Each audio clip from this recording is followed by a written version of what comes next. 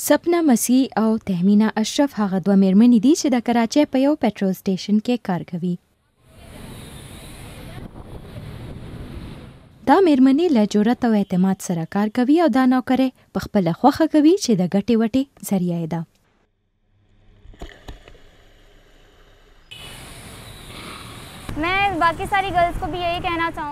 زه ټولو جینکو ته پیغام ورکول غواړم چې له یو کار نه هم مه ویریږئ دا فکر مه کوئ چې تاسو څه نشئ کولی او یا د سړو په منځ کې کار کوئ دوی باید په خپل ځان باور ولري، ویره ختمه کړي او په دې کار سره خلکو ته وښايي چې جینکۍ هم دا کار کولی شي. هم په دغه پټرول پمپ کې له سپنا سره څلېرویشت کلنه تهمینه اشرف هم کار کوي. تهمینه د خپل کور ساتلو لپاره دا کار کوي.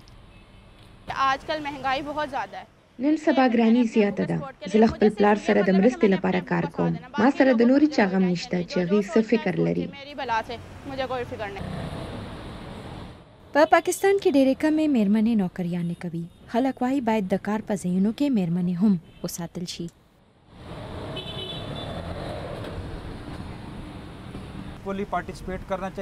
ښځې باید په هر مسلک کې برخه واخلي ځکه چې ښځې زموږ د هېواد د آبادۍ تر 50 فیصده زیاتې دي. په ټوله نړۍ کې د ښځو د حقونو، مساوي برابرۍ په اړه مبارزې روانې دي. په دې کې هېڅ حرج نشته چې ښځې کار وکړي. دا یو مثبت ګام دی.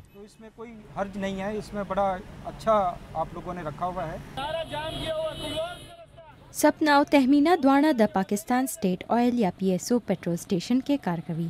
په ټول ملک کې په پي ایس او پټرول پمپونو کې پنځلسو ښځو ته نوکریانې ورکړل شوي.